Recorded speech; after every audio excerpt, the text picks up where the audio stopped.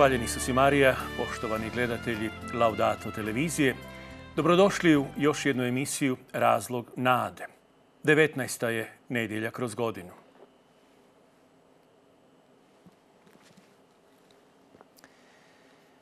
Iz Evanđelja po Ivanu. U ono vrijeme židovi mrmljahu protiv Isusa što je rekao ja sam kruh koji je sišao s neba. Govorahu, nije li to Isus, sin Josipov? Ne poznajemo li mu oca i majku? Kako sad govori, sišao sam s neba? Isus im odvrati, ne mrmljajte među sobom, nitko ne može doći k meni ako ga ne povuče otac koji me posla. I ja ću ga uskrisiti u posljednji dan.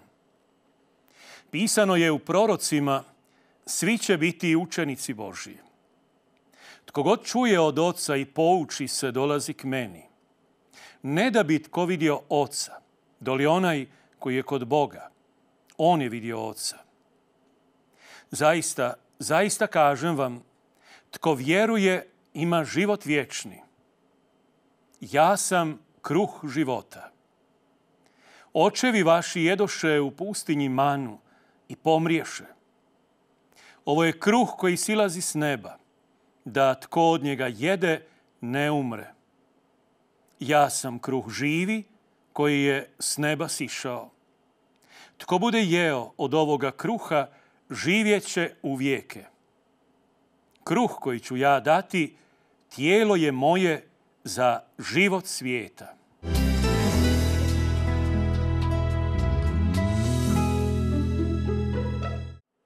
Dragi zaljubljenici u riječ Božju, već smo nekoliko nedjelja, a i nekoliko idućih nedjelja nastavit ćemo se družiti s Ivanovim evanđeljem.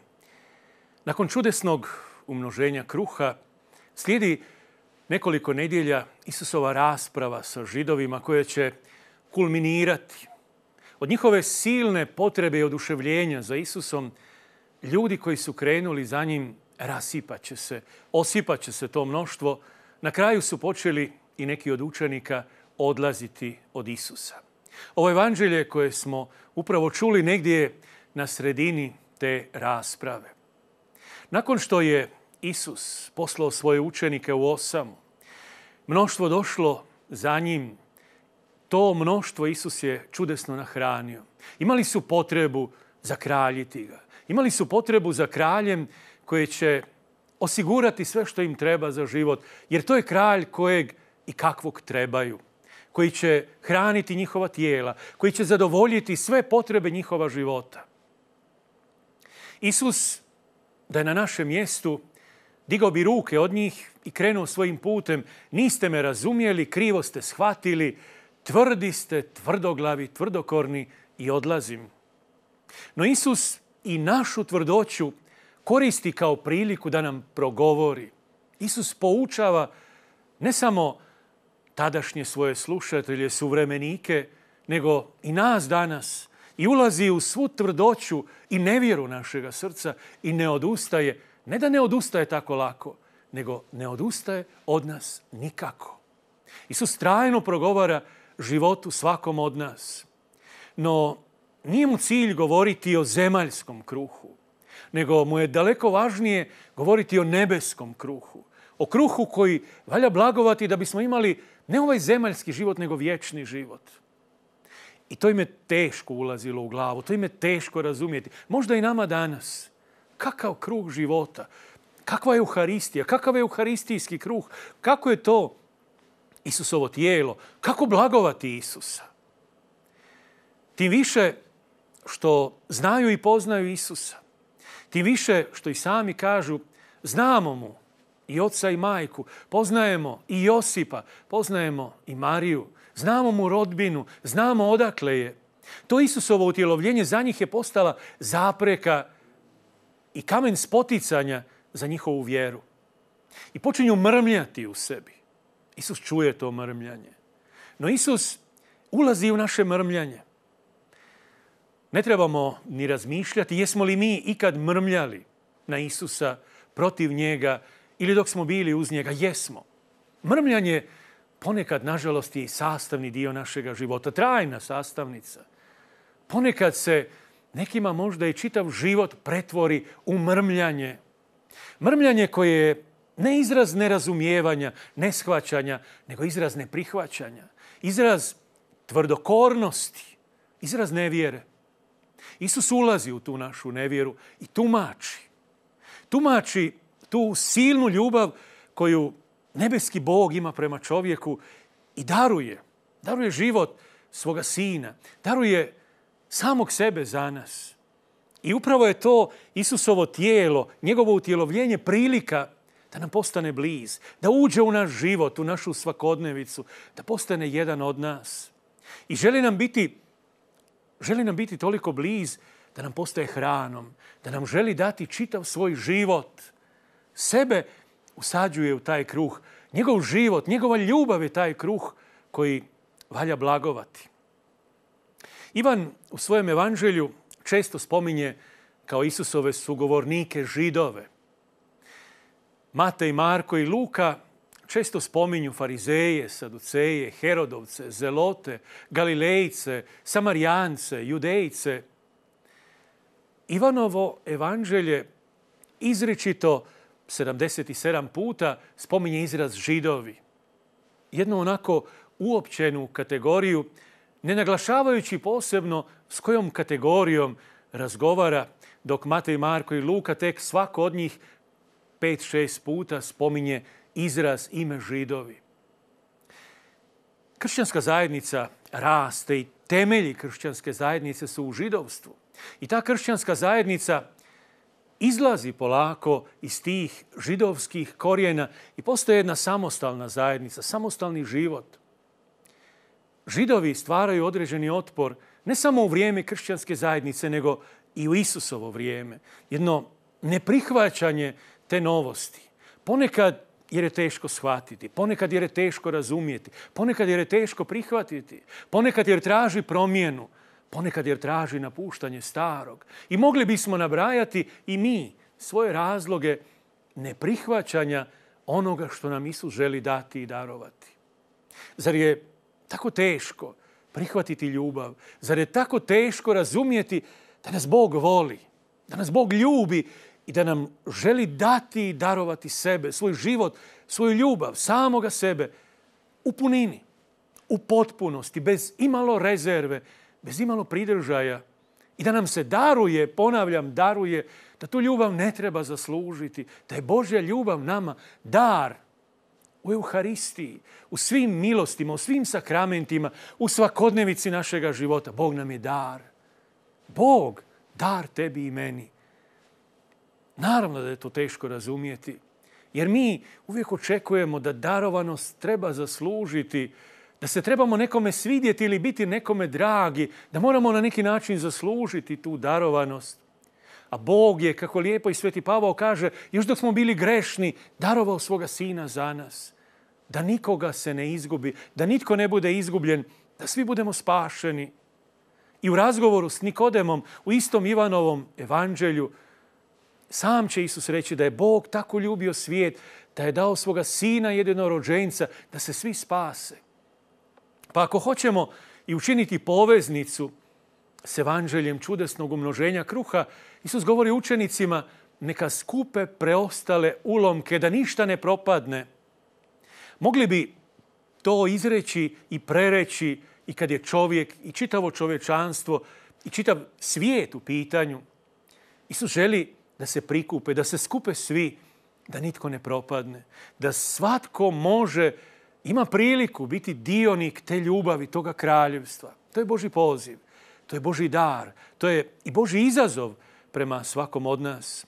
A na nama je na slobodi svakog od nas. Hoćemo li ostati u tom nekom svijetu svoga mrmljanja ili ćemo iz tog svijeta i zarobljenosti svoje nevjere iskoračiti prema Isusu. On nas to danas poziva.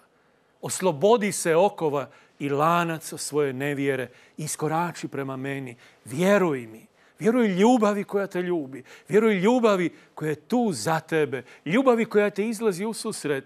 Ljubavi koja ti ne želi dati dobro samo u ovom zemaljskom životu, ovih nekoliko godina ili desetaka godina koje su još pred nama, nego vječnost.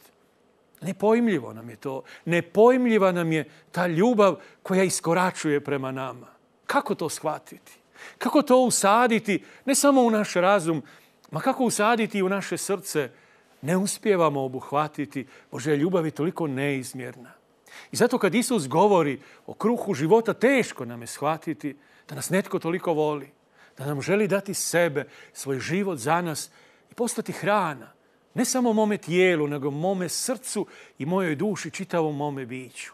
Eto, dok razmišljamo danas o Isusu kao kruhu života i dok pristupamo i danas na sakramenat Euharistije i primamo taj zalogaj kruha, shvatimo, shvatimo srcem da ne primamo kruh, primamo doista ono što i svećenik izgovara dok ti pruža Kristovo tijelo, tijelo Kristovo. I onaj naš odgovor, amen, znači tako je, znam da jest, vjerujem da jest, primam ga, otvaram svoje srce da bi taj kruh, taj Krist, njegovo tijelo, njegov život nahranilo moje srce. Da bih i ja mogao postati novi čovjek.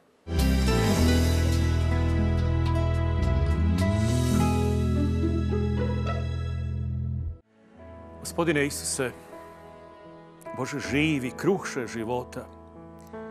I danas smo pred Tobom u svoj svojoj nevjeri, u svim svojim mrmljanjima, u svim svojim pokušajima da razumijemo, da shvatimo, da dokučimo. Još uvijek nas opterećuje dar koji od Tebe dolazi, naš razum. Nikako da to postane u nama dar Duha Svetoga, nego nas ograničava. Sve bismo željeli shvatiti i razumijeti. Ti nam želiš reći da je ljubav nemoguće shvatiti, da je ljubav moguće samo prihvatiti i živjeti. Eto to nam daruj. Daruj nam da prihvatimo tvoju ljubav, da tvoja ljubav, tvoj život uđe u srce svakog od nas. Da prepoznamo tu silnu ljubav koju imaš za nas, tvoj korak prema nama i onda kada smo ispunjeni i mrmljanjem i ogorčenošću, pa i na tebe, Isuse. I onda kada smo zakopani u rovove svoga života. I onda kada ne možemo, ne znamo ili ne želimo iskoračiti prema tebi, Isuse, iskorači prema nama. Ne odustaj od nas. Pronađi u nama temelje na kojima možeš graditi novog čovjeka, na kojima nas možeš obnoviti. Daruj nam priliku da budemo dionici tog novog života.